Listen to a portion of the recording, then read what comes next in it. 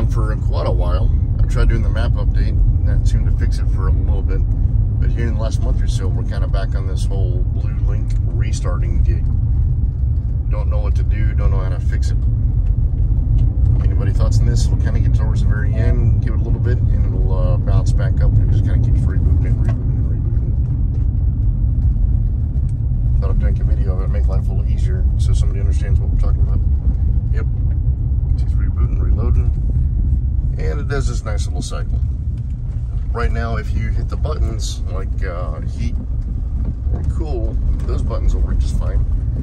The radio up and down, your memory presets work fine, the volume works fine. But you kind of have to just kind of keep hitting the same buttons, and eventually you figure it out with the presets. And the uh, heat and cool buttons, you really don't know what it's trying to output or heat or AC the uh, the car with.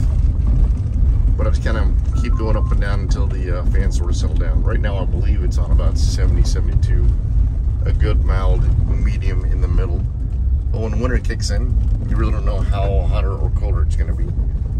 Uh, my plan is just to leave it as is, and hopefully that's going to be a good warm um, mid-temperature like it is right now. So I feel a little bit of AC coming out right now, so I know it's not set too cold. But it's kind of one of those guessing games back and forth. I reset the uh, SD card a couple of times and this is a newer car that's in here right now.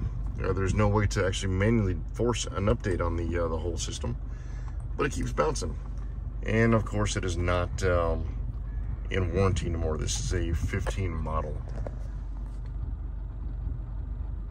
Anybody have any thoughts on that one? What to do or where to go to reseat something or redo something so that way the system will actually come back up? If you let it go for about an hour, if you're taking a trip, it'll eventually show up and then it feels like it uh, takes maybe about five to 10 minutes for the GPS signal to update and sync up to put your put the dot correctly on the map, on the uh, the navigation map. But it's gonna take a little bit longer than me running up and down uh, little trips to town and coming back.